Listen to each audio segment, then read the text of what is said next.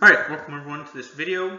In, in today's video, what we're going to be talking about is um, kind of some periodic trends of uh, acids and bases, right? How structure of a molecule can affect the acidity of an acid and things of that nature. Okay.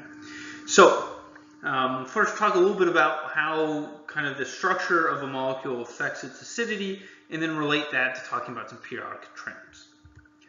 So the first thing is bond polarity, right? right. So a polar bond, right, is is a bond that has differences in electronegativity, right?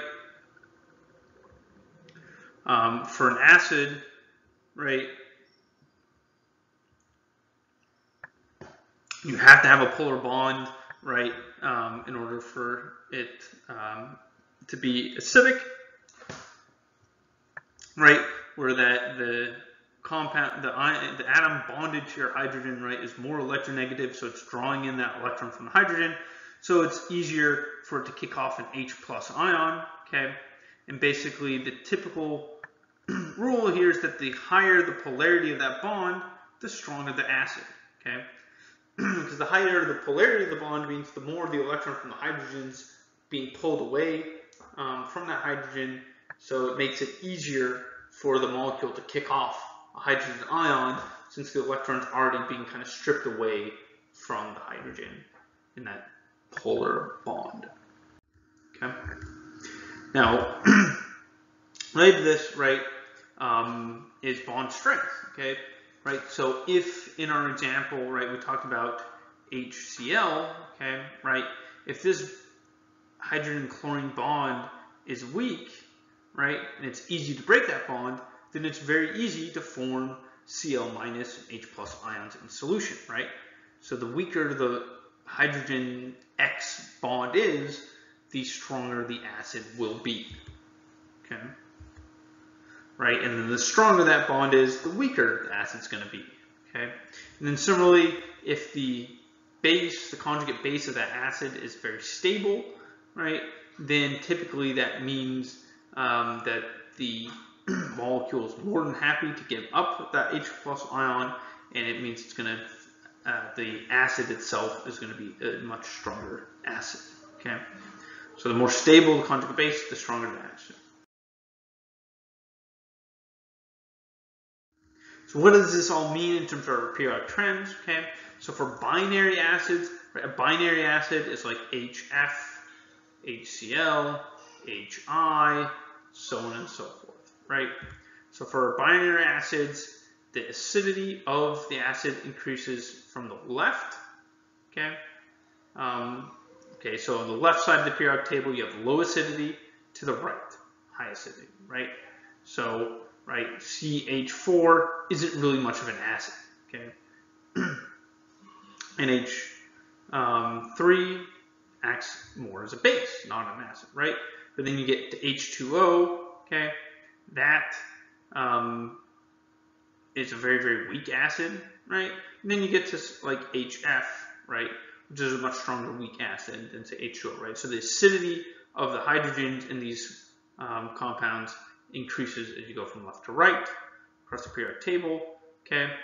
And then within a group, so again, talking about HF, HCl, HBr, HI, right? Um, the acidity increases with the atomic number or as you go down the periodic table. Okay, so you go down the periodic table, the acid becomes stronger and stronger. Okay, so HI is a much stronger acid than HF. Okay, and then for oxyacid, so an oxyacid is like HC, H2CO3 or H2SO4, right, or um, H2CO4 or H2SO3, right? Like these are different oxyacids, okay?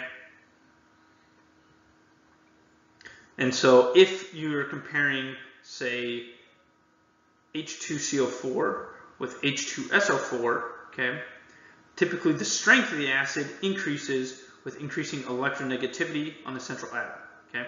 So if these, comparing these two things, right, H2SO4 and H2CO4, right, H2SO4 is going to be the stronger acid because sulfur is more electronegative than carbon. Okay. Now, if you're comparing instead, um, lost my pen here, right? So if instead we're comparing, um, say, H2SO4, H2SO3, okay? So in case the central atom is the same, the strength of the acid increases with the number of oxygen atoms. So again, in this case, H2SO4 is a stronger acid than H2SO3. Just like H2CO4 is a stronger acid than H2CO3. Okay. And so that is it for our trends for acids and bases, right? In, in terms of periodic trends, we have binary acids, right? As you go right and down um, the periodic table for binary acids, the acid strength increases, right? And then for oxy acids, right?